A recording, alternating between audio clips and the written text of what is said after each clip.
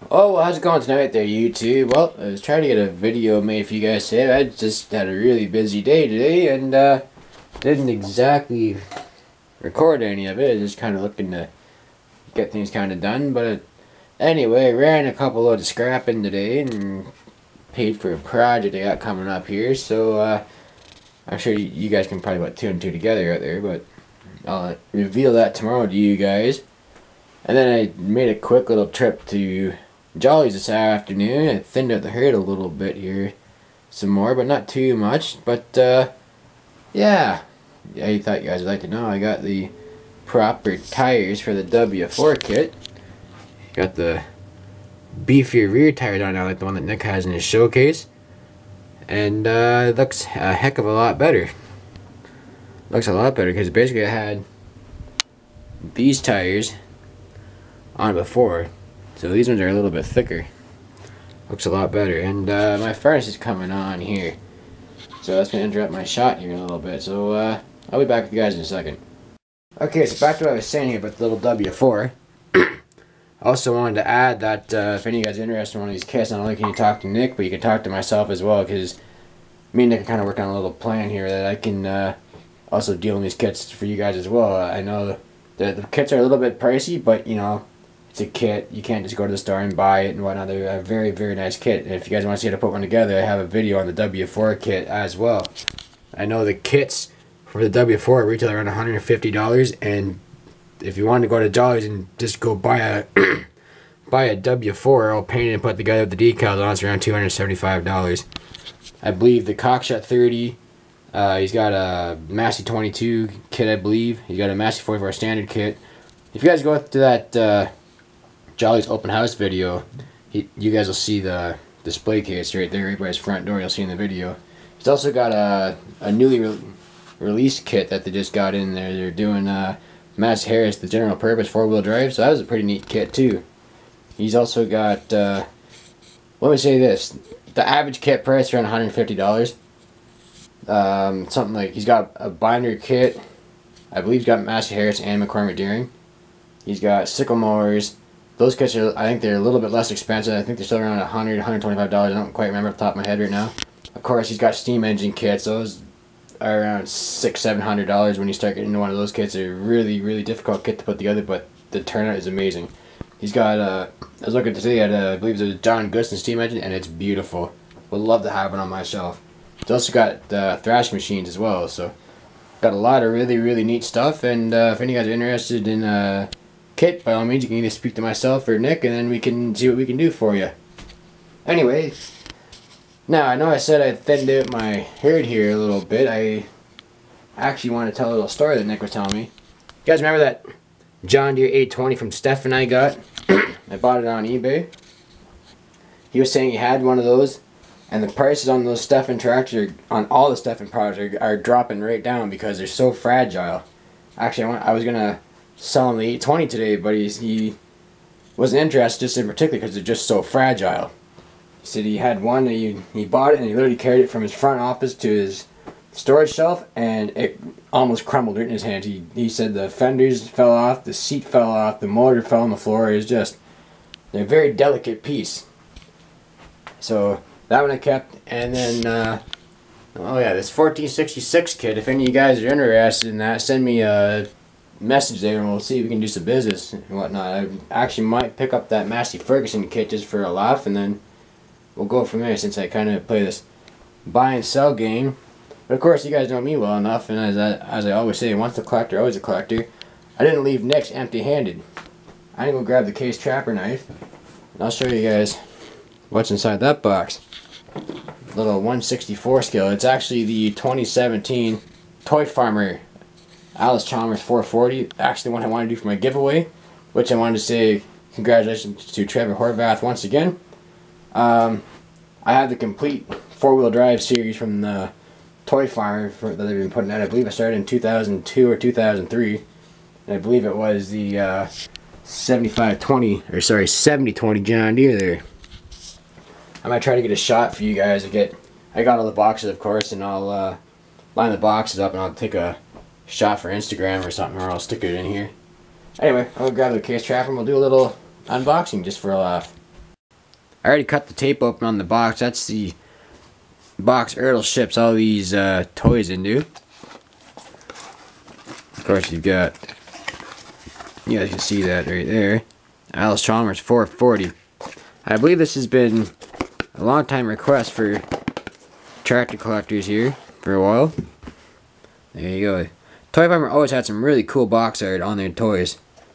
This is for the 40th annual National Farm Toy Show held in Dyersville, Iowa. It's usually the first week, weekend in November. Never been, but Nick had Nick from Jolley's there. He's been down there. I would love to go, just even go tour around, even don't buy something. I just like, like to make the trips. Like I say, I've been there. Anyway, we'll get her opened up here a little bit.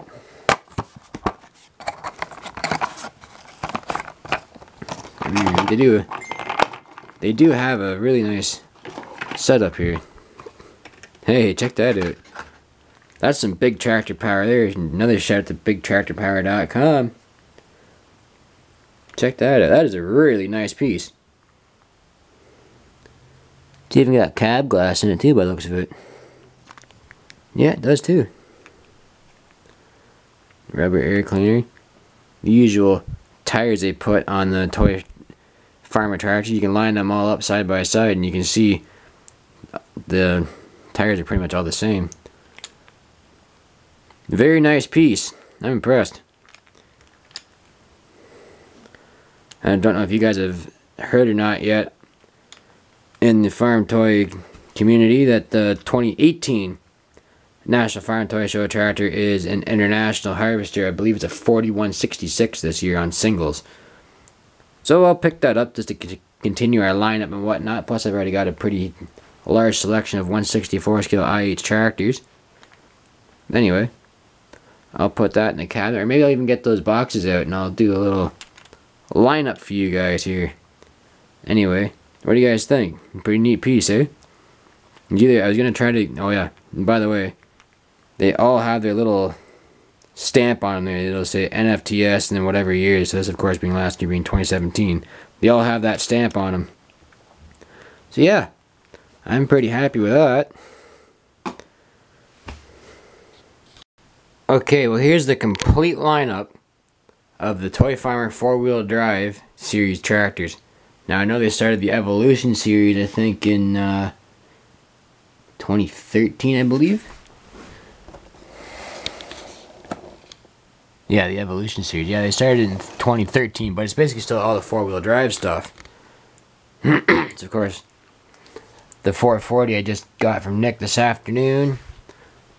The 7020, which was put out in 2003. So basically how I got started in the Toy Farmer toys, I started getting Toy Farmer magazine in 2006, and then of course I saw the, uh, what number was that again? 43, 4366. The 4366 was the first one I saw, so I saw the advertisement for that, I was like, hmm, kind of like to have that tractor, so I then ordered that, and then of course I knew about the other ones I had, so I think I ordered the 06, the 07. No, I ordered the 08 one first because I missed 07. and then I kind of got looking, and then, oh, they had an Oliver, so I had the Oliver, and then I just kept on adding to it throughout the years, and I had the complete lineup, and I've had every single one, other than obviously the 40, the the 440 or other since uh, the magazine advertisement came out. But what's neat about Toy Farmer they'll alternate brands. So one year they'll do IH, next year they'll do AGCO, next year they'll do IH, next year go back to AGCO. There was a licensing issue with John Deere, and John Deere wouldn't let them do their tractors until recently. They did the 8650 in 2016. Of course, their first one was a John Deere, of course, but uh, as you can see, look at the lineup. There's the Deere and the Massey. Actually, I believe if my theory's correct, I believe between the Oliver, the Massey Ferguson, those are the hardest two to find if you're ever, if you're trying to put this lineup together. They're the hardest of all of them to find, I do believe. I've read that somewhere before. So I do remember I paid, I think almost $45, $50 to, just to get that one tractor, but I had almost every single one. I think I bought that in 2015, I think. So I had every single other one. I was trying to complete the lineup. So I think I, well, I know I started with the 06 4366 there, and then I kept adding, and then I'd find a few pieces, and I'd add that, and add this one, and I'd come across one. I think that was the most expensive one, even more than the Oliver. That's a little bit of history for you guys here on the Toy Farmer Tractors. Anyway, before I end this vlog here, I also uh, was down at Nick's. I picked up a set of decals for the John Deere 7810 we're working on. I think tomorrow I might actually get a chance to sandblast that. Of course, I'm going to obviously uh, reveal the big project I got sitting up front there. And uh, also picked up the new Farm Toy Price Guide. I tell everybody kind of joking, this is like the Bible for farm toy collectors. Every good collector needs to have one of these. The last one I got was from 2013, so haven't had an updated one yet, so I got that from Nick Day as well. Anyway, you guys know how it goes. If you're interested in sending me a tractor combine piece of equipment for the greatest farm toy collection on YouTube, which is obviously fan mail from you guys, the P.O. box address in the description box down below. And if you guys like what you see, please comment, rate, subscribe, and I will see you guys tomorrow. Have a good night.